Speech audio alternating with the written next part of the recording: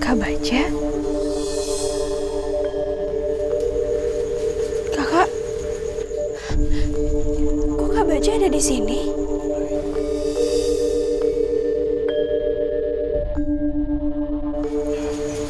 Aku udah gak tinggal sama Mama Inka lagi. Dan sekarang aku udah gak punya tempat tinggal. Entah kenapa orang yang pertama kali muncul di pikiran aku itu kamu, Mama.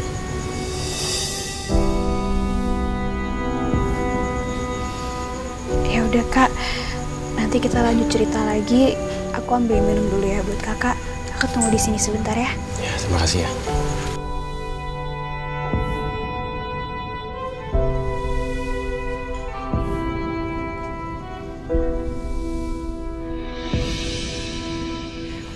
Ini Kak, minum dulu.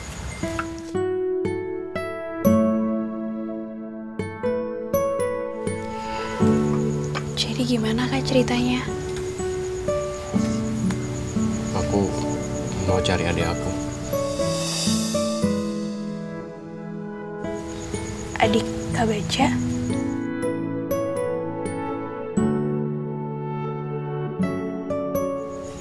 Eh, kalau boleh tahu, gimana adiknya Kak Baja?